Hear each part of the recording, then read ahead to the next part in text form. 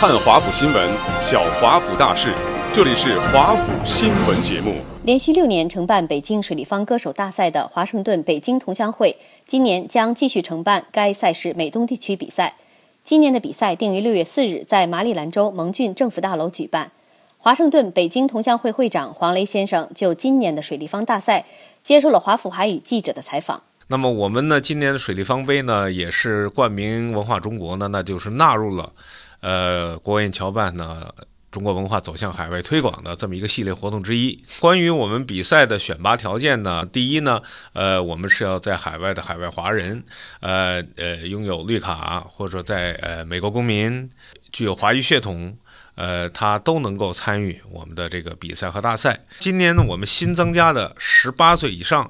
呃，十八周岁以上的这个组呢，我们叫做成人组。啊，那我们将送三位选手进入到北京的总决赛，青年组也就十二岁到十八岁的冠亚军，还有成人组的冠军。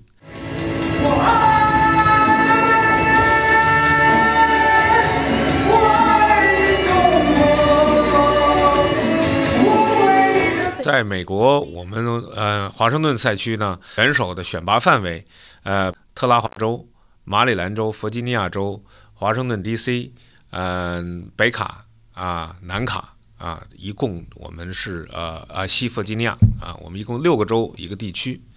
呃，比赛的方式，我们今年采取了网上的提交报名视频的方法。那么呢，选手们呢把自己的参赛作品、自己的基本信息发送到网站之后，我们的专业的评委通过我们接受到的海选资料，评选出进入华盛顿地区。六月四号总决赛的选手，我们呢有一个呃人气奖。啊，人气奖的评选呢，我们只针对于被选拔到进入决赛范围内的选手，我们会把所有这些选手的资料，呃和他们自己在视频中的这种表现，我们会呢呃和这个我们大华府当地的媒体这个华府华语进行合作。啊，我们会放到华府华语的网站上，那么呢大家可以上去进行最高人气奖的点评。二零一七年文化中国水立方杯海外华人歌手大赛美国华盛顿地区的总决赛的舞台等着您，欢迎你的到来，展现你的才艺。我们六月四号见。